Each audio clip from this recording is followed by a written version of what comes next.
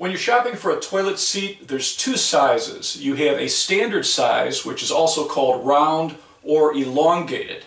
And the way you're going to find out what size your toilet needs, you're going to measure from the holes that hold the seat in place to the front of the bowl. If it's right around 16 and a half inches, that's a standard size or round. If it's 18 and a half inches, you need an elongated seat.